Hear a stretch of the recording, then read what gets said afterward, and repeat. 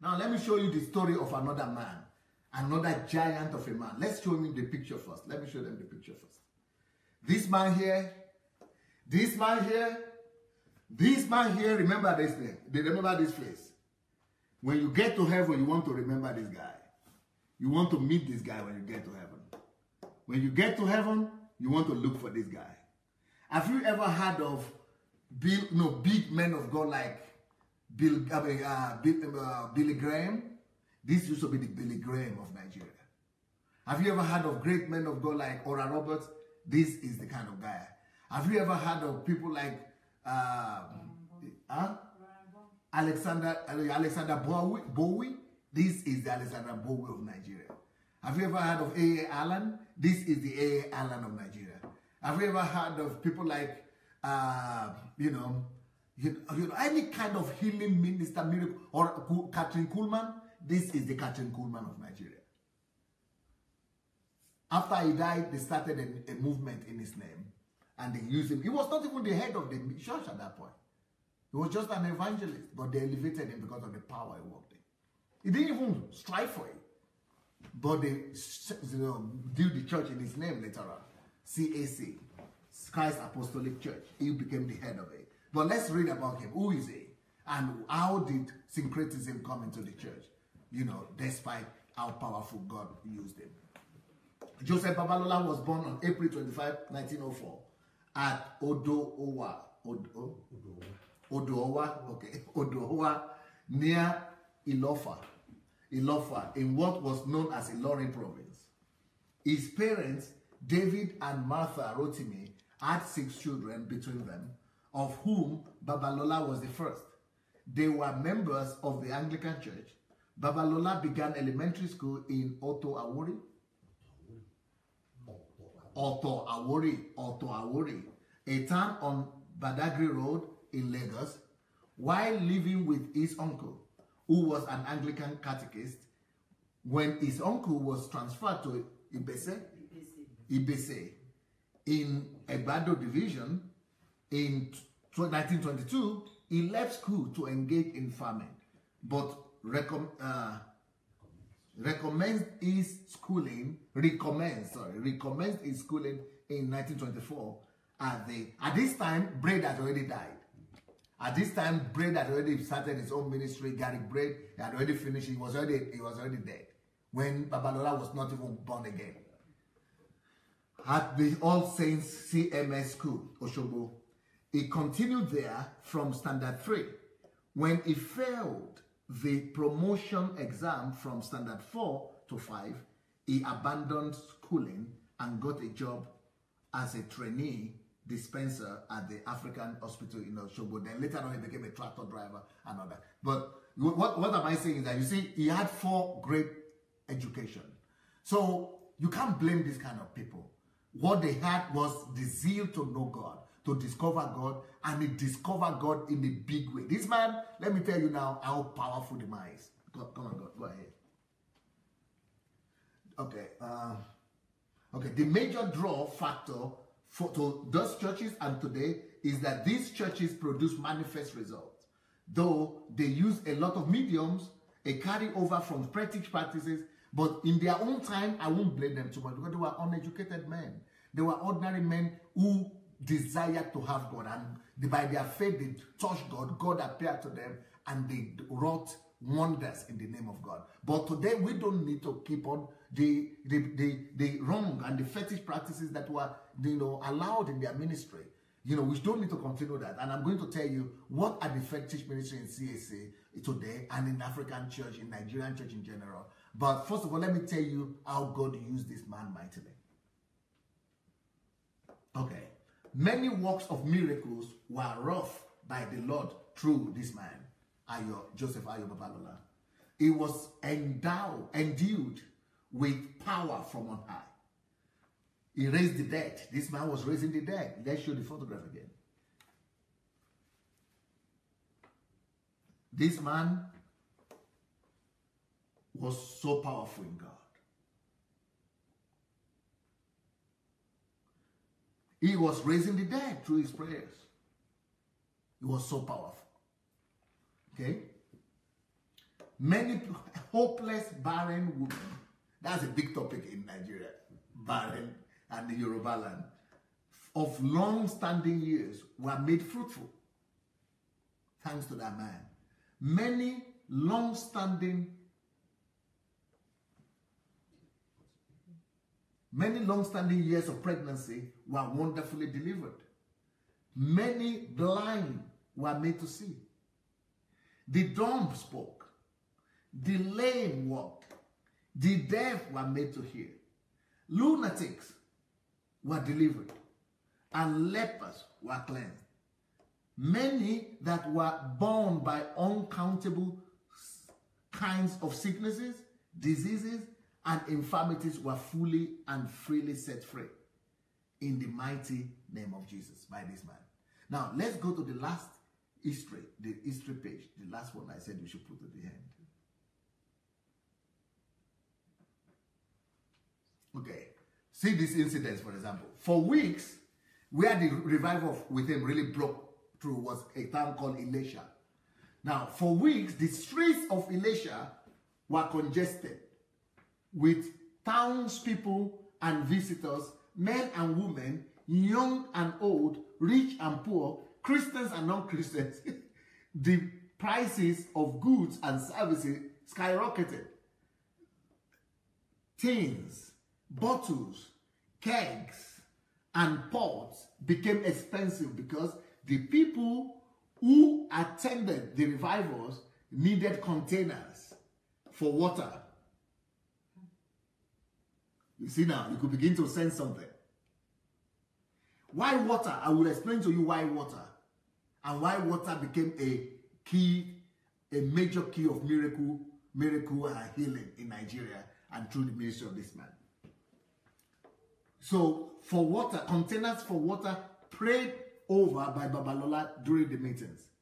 They thereafter took the water home and used it for drinking bathing or bathing and application to the parts of their bodies, just water, that were diseased. Now, but why would God allow that to happen? Why would God use water? You remember when we spoke about paganism, God will always use the means that people you are ministering to understand. That is the level of the people. That is where they belong. That is you know, you will see that in the Bible, God also used aprons or handkerchief, whatever the sort Why? He used them among the pagans, among unbelievers. That is what they understood. In paganism, you need an object because there was no concept that God is universal, God is uh, what omnipresent. So when they only need to, they need to see a man that carries power, and when they see a man that carries power, they want to touch him or him to touch them. So when he cannot touch them, they want to him to at least speak something or do something into something so that they could carry with them because they don't have the concept of the omnipresent God. That God and talk less of having the concept of God in them. Because they were unbelievers, God was not in them. I mean, to them, they didn't know that, that God is in them. They did, it was so strange to them. So God will allow the man that they have seen God in to give them his presence because that is what paganism was all about. In paganism, you always have a witch doctor. And the witch doctor, anytime you come to witch doctor, a witch doctor cannot just tell you go. A witch doctor will give you something. It will speak to something and give you to go and wear maybe, or to go and drink, or to go and do sacrifice. You have to carry, a witch doctor must do something and give you. So that is where these people are coming from. They are coming from that culture of God has to you know, you remember that photograph? There's somebody between God and something. So if he has met with God, if he has access to God, God must give him something. God must tell him something to do. So they're coming from that culture where we say, okay, God, I have come talk to God, oh, I have met God, oh, God has said I should do this thing for you. So they don't believe him as they will believe God. But the downfall of that is that people don't see God because they, think, they still keep on thinking like pagans that they cannot reach God. So they only see him. So he becomes God to them. So that's why in Christianity it's not practice. It could be used while you are evangelizing a foreign culture or a pagan culture or new believers until now you bring them to church and now train them that no, you don't need me. Oh. The leader is supposed to now remove himself and say, No, see the word of God. He is already in you. Oh. The kingdom of God is in you. Even Jesus, when he came, he said, If I do this by the finger of God, the kingdom of God has come into you. He removed himself from it. And now he said, The kingdom of God is in you. Oh, may I go. Even Jesus.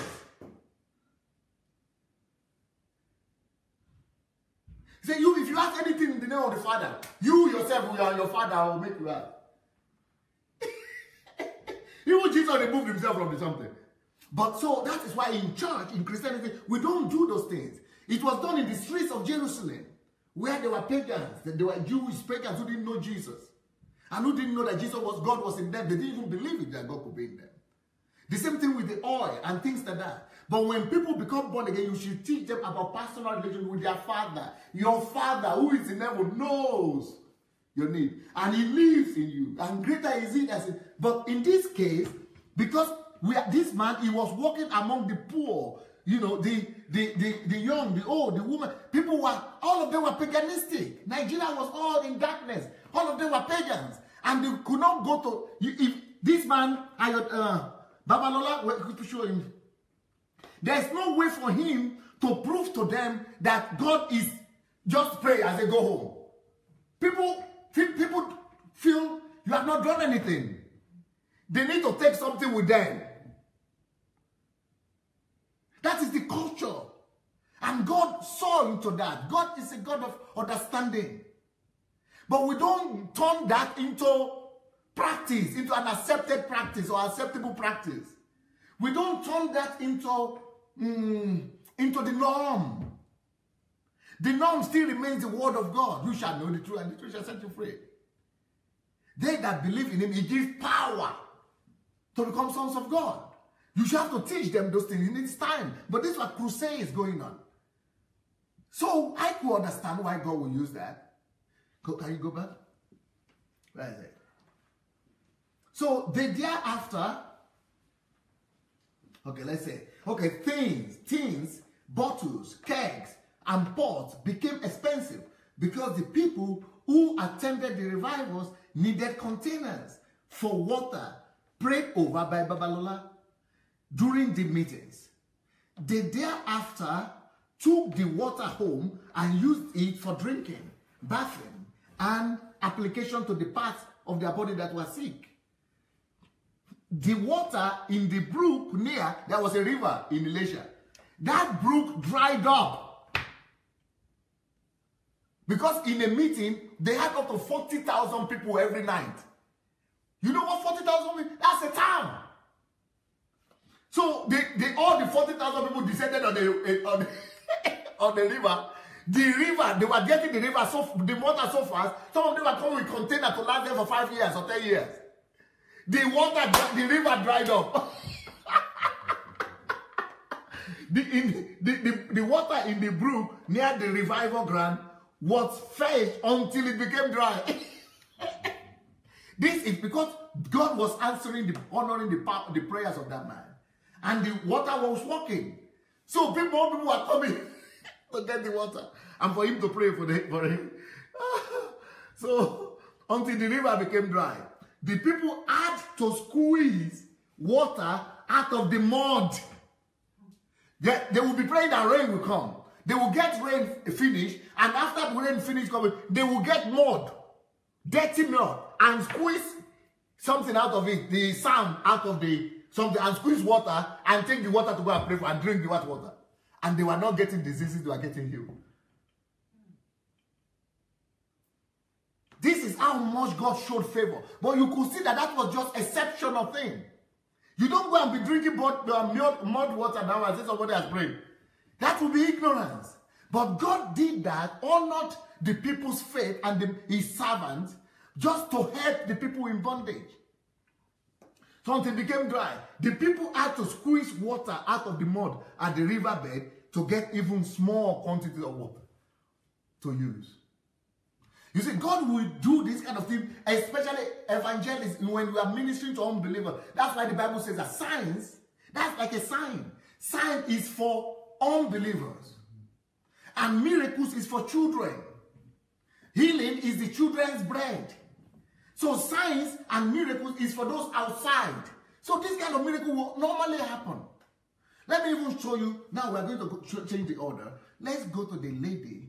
Let, let's go to the uh, epidemic, where the epidemic was, and the lady with the water. Let me now show you where the use of water started in Nigeria. Where the use of water started for healing. No, the present Nigeria. There was this woman, apart from, you now know about Ayo Babalola, right? It's great man of God. You see the way he has been used. Now, apart from Ayo Babalola, before Ayo Babalola, there was another revival. Ayo Babalola is the leader of CAC. It is out of that, that those miracles and his ministry that CAC was born, Christ Apostolic Church. But apart from before Ayo Babalola, uh, after break, before Babalola, there was another revival. After Break died, another revival started in the west, in Ijebu, Ijebu. And the, one of the people that God used to do this revival was a woman. She was a school teacher. See this woman? We might not be able to recognize her face because it's so old. This photograph was taken like in 1918. Old. So her name is Sophia Odunlami. She is one of the people who started the Aladura movement. If you are from Nigeria, you have you must have heard of Aladura movement, Aladura prayer band, Aladura white garment people. They are Aladura people. Now she was one of the people who started. You see the white garment, it's Aladura. Okay, let's go. So let's. When was the time that God raised up that woman, and why did God into, allow water to become a means of healing in the Nigerian church? Let's read the story for you. From the end of 1918 to mid 1919, Nigeria was ravaged by an influenza epidemic that was an offshoot of the worldwide pandemic. Here in Europe also, they call it the dead, the what they call it? Dark, dark, no, dead, no, dark death or black death, black death. Yeah, black death there was a ravaging in the after the second world war after the first world war between the, the, the, time of the world war war it was black death in europe. It also got to africa. So around that this is its influenza epidemic that was offshoot of the worldwide pandemic that began in the closing month of the world war one you see. About 500,000 Nigerians, can you see? Half a million Nigerians out of a population of 18 million The whole of Nigeria was 18 million this time. And one million of them, almost half a million of them, was what died in less than six months. Can you imagine this amount of people dying in less than six months? Out of 18 million, that is catastrophic. Everybody was, people were dying by the thousands every day in less than six months. And between 50 to 80% of all Nigerians were stricken by this thing. Up to 80%. The whole country was being wiped out. Do you think God will just stand and watch? That is when everybody started praying. The Babalawos couldn't help. The gods couldn't help. The Ifa couldn't help. Because they were trying to div no, do divination and, you know, do no, the spiritual healing. But this was epidemic. It's, it, it's, uh, it's, you know, Ifa, it's not the gods and the ancestors that will heal it. It is, it is not a spirit. It is disease. It's either you find cure for it, and this was around the time, what stopped it in Europe was that they found antibiotic, or uh, uh penicillin, or what they call it, penicillin. They found antibiotic. And that is what stopped it in Europe. You know, that is what how God cured it. And then in Europe also there were miracles. God, there, there was revival also. And either God will come and help people or will find healing for it or cure for it. The Babalawos couldn't help. They were also dying. So the whole country was dying. One out of two was dying. In fact, up to 80% of the whole Nigeria, they were all 18 million. Why do you find the one that is so bad? So you could have found cleaner something with just Nigeria alone with, you know, we have better something than Nigeria than this. Anyway, this whole Nigeria. Every the whole country was ravaged by this epidemic. So the whole country was dying like crazy. But God decided to have mercy on us and God intervened. How did God intervene? Let's see the story. So this woman I showed you, let's see the woman again. This lady, Sophia Odula, or, what? Odunlani. Odunlami from my village. It was she's from Ishoni, Ishoni in Ijebu, and I'm from Idomina. We're just neighbors. I didn't know that. I'm just discovering. Let's go. Odunlami Sophia is associated, associated with the beginning of the Aladura movement, you see, in Western Nigeria in the early 20, 20th century. Sophia Odunlami first became widely known locally in 1918. On this was the year Bray died. Bray died and God raised up an answer. On, on account of her visionary experience during the influenza uh, epidemic, you know, the whole country was dying. That, that ravaged southwest Nigeria and the whole of Nigeria when Western medicine failed to hold back the disease or offer any help to those afflicted. No, not just in, in Africa, but in Europe also, Western medicine was helpless. The British colonial administration closed down some schools and churches to prevent the, its continual spread. As a result of a dream, you see, as a result of a dream, Joseph B. Shadari, that's another leader of the Aladura movement, name later changed to Eshin Eshinsin Ade. Eshinsin Ade, right? Eshin Eshinsin Ade or Eshin. Anyway, a member of the, uh, diocesan board and a leading member of St. Saviour's Anglican Church, that church is still there in Ijebu up to now, started regular prayer meetings to seek divine intervention to halt the epidemic. One of those who joined the prayer meetings was Sophia Odulami, later Mrs. Ajayi, a relative of Shadare, then a young woman in her early 20s who was teaching in an Anglican school in a village of Ishoyi near Ijebode. Okay, go ahead. Sophia Odula means prophetic revelation in 1918 in which she was told to instruct everybody in the Ijebode area who had been infected by the influenza virus to store the water, the rainwater, rainwater from the rain that will fall on a particular day. You see what God, how God has mercy. God gave him a dream that on a particular day, rain, like two weeks ahead, that this day, rain is going to fall. Let everybody, they had enough time to gather you know, their storages, you know, can and stain and pot and to gather water. If they would drink that water or use that water to wash, or to touch the sick place, people will be, that is how influenza stop in Nigeria. How will you not follow that kind of person after? but later on, people now began to use water because they have seen how water was used to deliver people. That's how water entered into Nigerian Christianity as a means of healing and deliverance. But you see, we doesn't supposed it's not supposed to remain and stay in the church. This was among the pagans. All of them were unbelievers, almost. But God was showing mercy and deliverance. But we shouldn't now build a whole altar. That is exactly what happened with Babalola as well. God used something, but you don't build an altar around it. So anyway, uh, that a particular day and apply the water to the diseased part of their body. Family placed her in the center of the healing movement in the town. The leaders of the Diamond Society encouraged people to follow her instructions. You see, after she said that and the thing came to pass and people were healed, see what the leaders of, ch of churches everywhere said. They now said people should uh, follow her instructions on divine healing. And so she became a spiritual, because she's a girl, was 19 or something, just had a dream. It came to pass. Has the thing with our culture.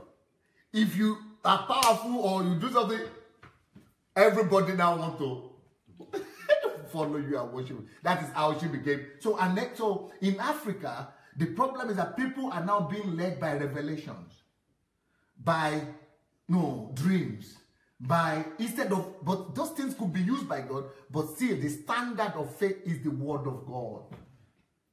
And personal relationship with God by everybody, not to exalt somebody. So these are all the things that gave birth to syncretism because everybody started honoring her and she was raised up and Babalola also was raised up. That is already syncretism. They are now standing between men and God and now, and then the water again. and then the bell ringing, and then it went and went and went and went. Hello, everybody. DSA here. I would like us to spread this word together. Let the gospel of the kingdom conquer the world. We only need you to help us take five simple steps. What are these steps? One, go ahead and like the video, please, if you have not yet done that. Number two, we need you to subscribe to this channel. Have you yet subscribed? Not yet done it?